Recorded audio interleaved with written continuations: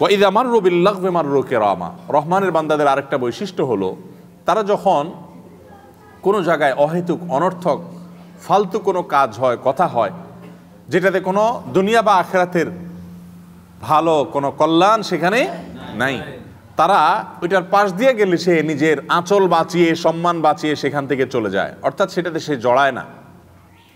এখন, আপনি জানেন চা দোকানে কি হয়? আপনি তারপরও সেখানে গিয়ে ঘন্টাকে ঘণ্টা বসে আড্ডা মারলেন। রহমানের বান্দা হওয়া যাবে না।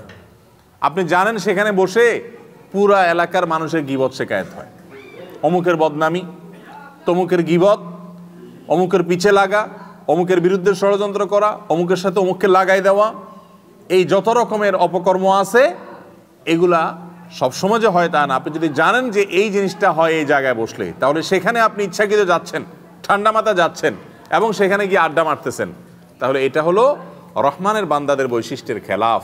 রহমানের বান্দা হতে হলে, আল্লাহ তালার স্বীকৃত গোলাম হতে হলে, আব্দ হতে হলে সেক্ষেত্রে এই বদ অভ্যাস থেকে দূরে সরে আসতে হবে। কোনো অন্যায় কাজ, গুনাহের কাজ, শুধুমাত্র অহেতুক কাজ না।